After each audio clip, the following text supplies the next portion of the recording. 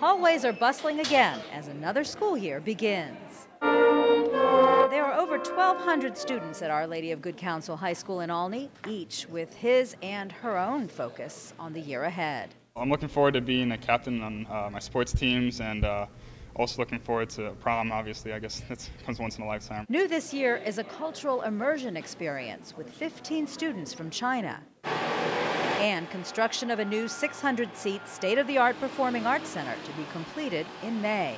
That's exciting. I'm glad I'm going to be able to be here because we were there when like we were raising all the money, so it's kind of cool just to see how everything came about. At the largest co-ed private high school in the county, Good Counsel is a good neighbor. Good Counsel first opened its doors in 1958 in downtown Wheaton. In 2007, it expanded to this 52-acre property in Olney, and it prides itself on being a partner not only in the Catholic community, but in the Olney community as well.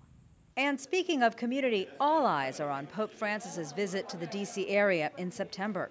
Students are greeted at the door with a life-size cutout of the Pope and are snapping selfies for social media. That's a really cool thing. He's coming to the country, and so you know, just praying for him and praying for other people in the area. It's a really great experience to have that opportunity to see him. Good Counsel was founded with the values of humility, trust, zeal, compassion, and simplicity. The school focuses on one core value each year. Coinciding with the Pope's visit is the value of simplicity. It seems to fit very well with Pope Francis's message about the environment, about how maybe less is more, about how just choosing to uh, live simply, to be a person who engages in small acts of kindness and that kind of thing.